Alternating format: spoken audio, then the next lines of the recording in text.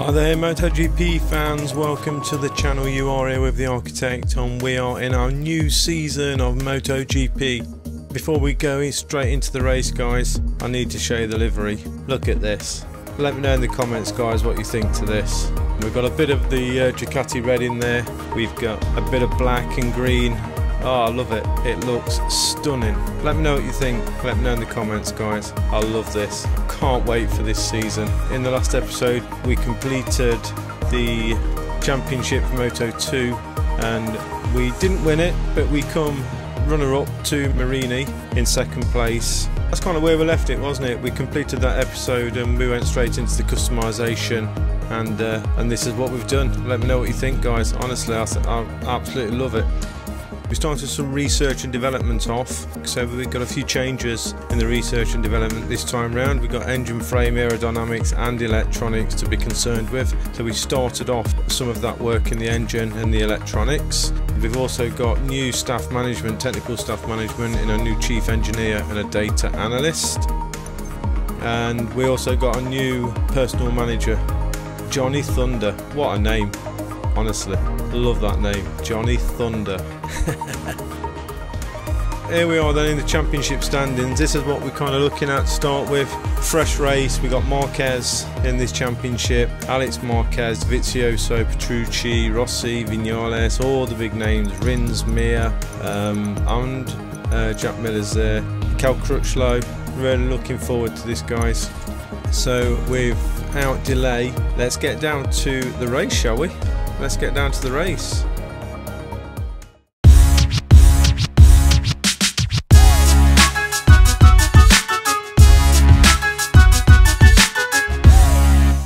Greetings to all our viewers from the peninsula of Qatar. The floodlights that light up the Losail circuit are on, and any moment now the MotoGP bikes will be revving their engines. We're looking forward to great weather for the race, but the rider's only worry might be the sand just off the racing line. We're moving to the starting grid where the cameras are showing us the riders concentrating before the start of the race. So we did our FP sessions, FP1, FP2 and FP3. Took us a while to get to grips with the bike. We also did our qualifying session and come first. So we come first in all of the sessions. There we are guys, look at us. Awesome. Let's load our setup. I'll share the setup with you quickly. Front preload 0, uh, rear preload 5, rebound all the way up to 10, compression all the way down to 0, rebound on 8, compression 3 for the rear shock, spring hardness front 1 in the rear 6, steering adjustment, brake all the way down to 0, and the trail all the way up to 10. The gear ratio, a few issues getting the gear ratio right. I'm hoping it's going to be okay in the race. It's a strange bike, guys, honestly. Front brake, rear brake, 340, 220. ECU, power mat 1, engine brake 3, anti-wheelie 2, uh, traction control is also 2. Let's check our consumption. 26 degrees on track, so I think that's going to warrant a soft front, which is what we're going to go for, and a medium rear. That's our choice. Rear tyre gets quite hot. Eight laps in the tank, we're going to put an eight. Okay, we're going out on a full tank then. I think we will need power mat 2. So let's get to track and let's start this race guys, our debut in MotoGP.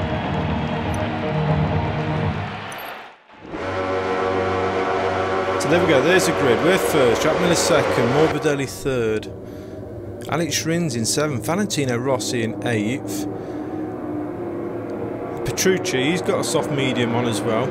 A few of the guys have got soft medium, so I think our tyre choice is okay. There we are, look guys. I think that bike looks ridiculous.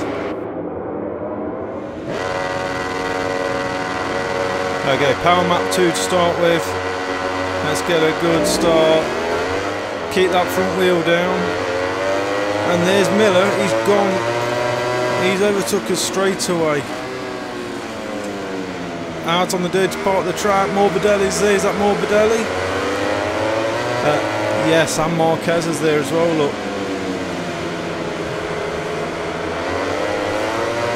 So we lost a few places. There's Rossi.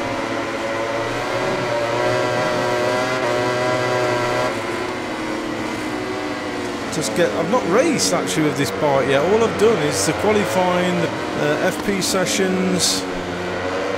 I've not actually had a race with this bike. Maybe I should have done that actually before I set off on this adventure, just to get to grips with it.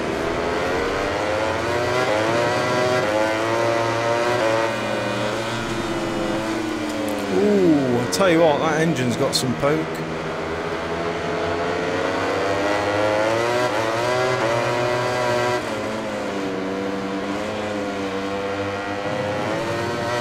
Running a little bit wide. It's because I'm trying to chase the pack, I think. Oh, listen to that bike.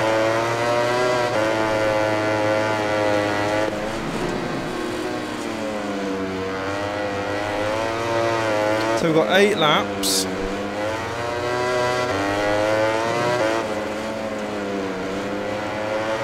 Alex Rins is in front of us. Petrucci is now behind us. As we get to grips, warm those tyres up. Coming round for our first lap.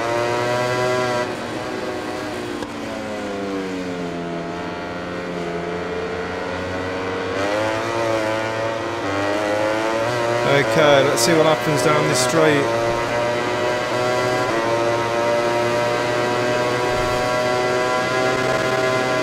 Ducati power as we can we stick it up the inside of uh, didn't quite get it up the inside of the Rins there.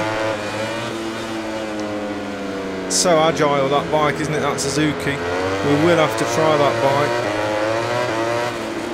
It's nice to be racing with the boys though. With the big boys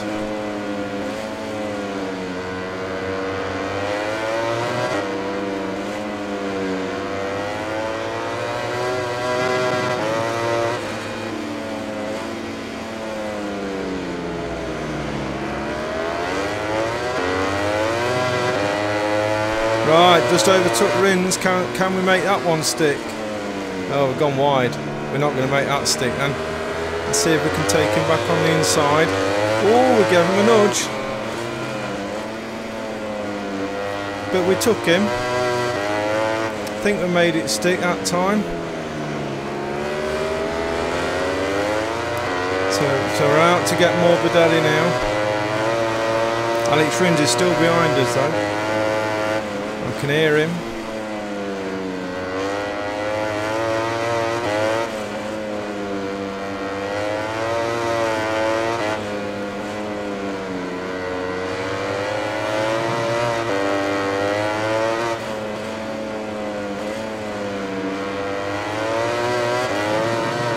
Power mode 2, so we need to come out of that now into power mode 1.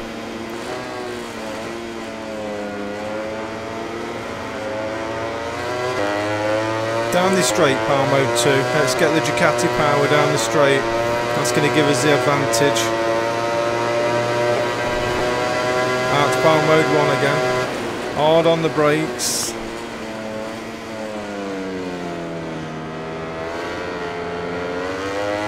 So initially the problem I was having with this bike when I first got on it, it's so different to those Triumph engines, is A, the power was completely different, of course. It's a Desmo engine. I mean, listen to the damn thing. It's a monster. But it was the handling as well. Really couldn't get used to its handling. It was running wide and the front was so sensitive. I kept losing the front. Soon as I touched the brakes, the front was washing out. So it took a while to get a setup. Of course, the setup is very different to the setups that I was putting on the Moto 2 bike.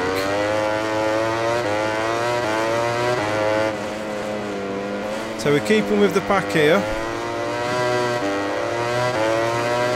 Yeah, I've really had to get used to the feel of the bike. especially the front brake. That front end is quite loose on this bike.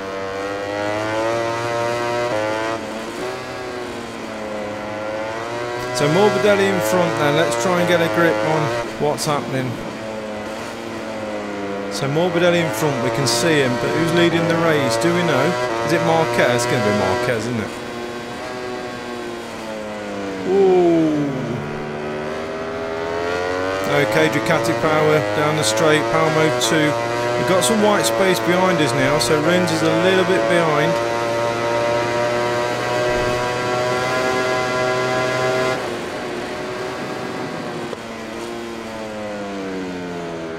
Managed to get it stopped there. So Marquez is third actually. So who's in front? Is it Miller? I think it is, you know.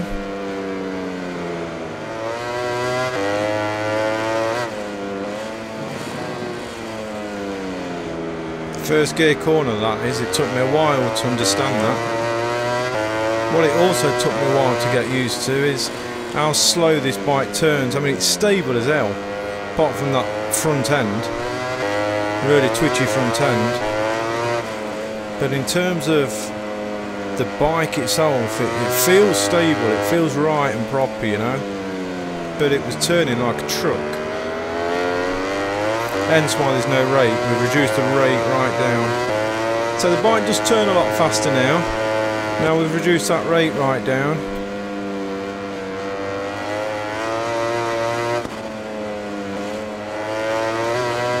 So we're halfway through then. Position 5. That's not a bad start for the first race of the season. Quartararo's just put in the fastest lap. Morbidelli in front of us. I need, I need to check what uh, you know uh, what the gap is actually on that.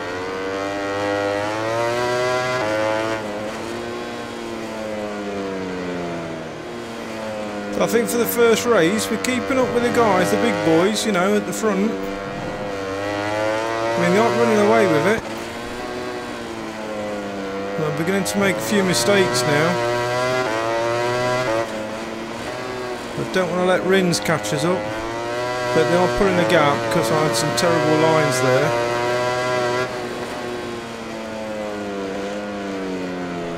Power mode 2 down this straight.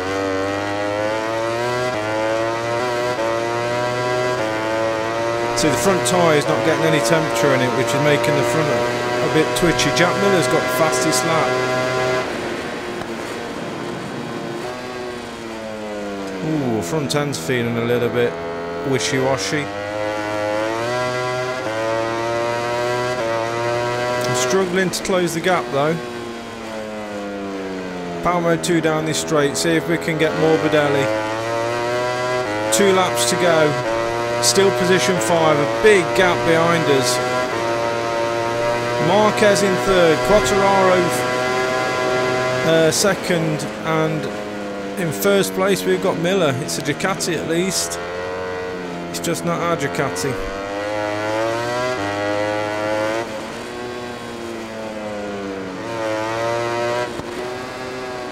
Are we closing on Morbidelli? So coming round for lap 7 for the final lap. Coming round the long way. Power mode 2 then, see if we can get round in power mode 2 for the entire lap. I don't think we will. It looks like we're going to end in position 5. Which for our, our debut on the Ducati ain't bad. I mean, this is our rookie here.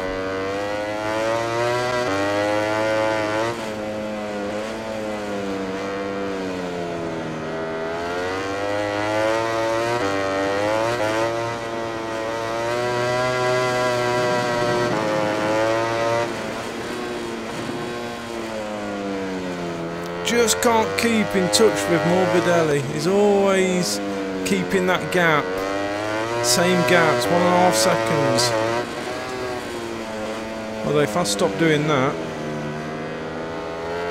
it might help.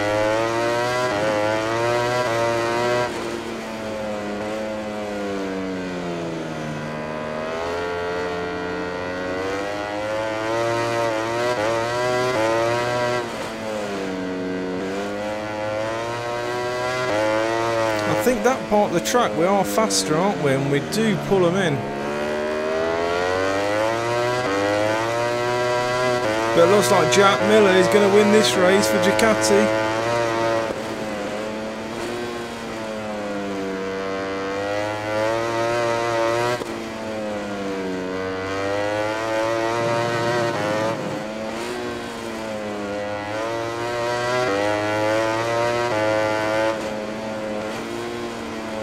think we've done anything wrong. We could have been a bit cleaner. But on the whole, for our first race, I'm happy with this result. I'll take it.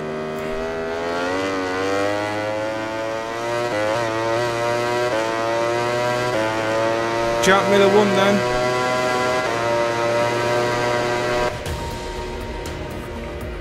Oh, a bit of a shake of the head there. Before we go to see the party at the podium, let's take a look at the MotoGP class final results. Now for our first race, I don't think that was bad. So Jack Miller come first, Fabio Quartararo come second, Marc Marquez come third with Morbidelli in fourth. Alex Rins on the Suzuki, he kept his place behind us. Danilo Petrucci, where did Rossi come? He come eighth. Okay. Uh, Crutchlow, where did he come? He probably fell off. No, he's there. So let's have a look at the Riders' Championship then. So Jack Miller, he's starting off with the full 25 points and currently leader of the championship. We got 11 points, but Fabio Quartararo 20 points, Marquez 16, Morbidelli 13. So we're currently fifth in the championship with 11 points, uh, trailing Miller by 14 points. So not a bad start for the first race of the season, and we also achieved our race goal of being in the top 10.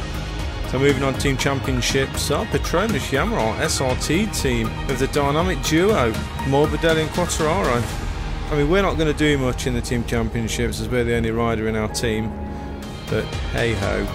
Constructors Championship obviously Ducati with Miller so reputation then is going up so we met our objective for third row so I think we met all our objectives didn't we? We did yes and we got our bonuses so we've also got uh, in here now our Moto3 Junior team which ran this weekend as well. If you want to see some of that guys leave me a comment and let me know. I shall drop the odd video in to keep you posted on what's going on in the junior team and I'll see if I can do a video for you guys. Research data, I think we've got everything there but the race uh, simulation we only managed to get three valid laps in because I fell off basically. Okay, so here we are then in the office. Let's have a quick scoot around what's going on in the office here. Personal manager, Johnny Thunder. Looks like we've got a new personal manager, a new candidate. Let's have a look. Uh, Nicholas Moore, he's an 8. His focus is on economic negotiations. But we're okay for now, so we don't need to do anything with that right now. Uh, one of the other things I did, guys, just while I was on the other side, is I uh, shown us some interest in the Pramac team and, uh, and the Suzuki team for next season. Let's just have a look actually. What are we on a two season contract here? We are on a two season contract with a termination clause, clause of 400,000. Okay, I was hoping to go to Suzuki maybe next season, but we might pay ourselves out the contract. We'll see how we do. Okay, so research and development. Let's see now if we can start some research on the frame. So we can't start any yet, we just don't have enough requirements, so we can't do anything there. And we can't do anything in aerodynamics either, we just don't have the requirements yet, so we need to do some more development work. Uh, so in terms of development, we've got another six weeks yet for the engine development to be done and the electronics, which is what I started in between uh, this video and the last video, guys. So we're just waiting for that to complete which kind of leaves us now to uh, go into the calendar and move on a few weeks and go to Austin. So let's just advance, advance again, advance again. So technical staff management, we've got a new candidate. I don't think we're going to get a better candidate than who we've got. Still, he's 87 in the electronics, but we're working on engine development at the moment. That's where our strength is. But at least we've got two people there for later when we can change these guys over and probably work on either electronics or aer aerodynamics. So we'll leave them at the moment, but we won't change anything. So then guys, I think that's it for this episode. Thanks for watching, I hope you've enjoyed this episode for our debut race in MotoGP. I think it went fairly well. Let me know in the comments what you thought guys. Let me know in the comments also what you think of the bike and the livery and the colours. Let me know if you like it or don't like it. And um, I'll see you in the next episode guys. Thanks for watching and uh, I'll see you next time. Bye bye. Welcome to the state of Texas. We're at the Circuit of the Americas where everything's ready to kick off for a new weekend of motorcycle racing. The tension is palpable. Mechanics and engineers are at work to sort out the final technical details before the start of this official session. The weather forecast for the session is perfect, so riders and teams will be able to concentrate exclusively on fine tuning their performance.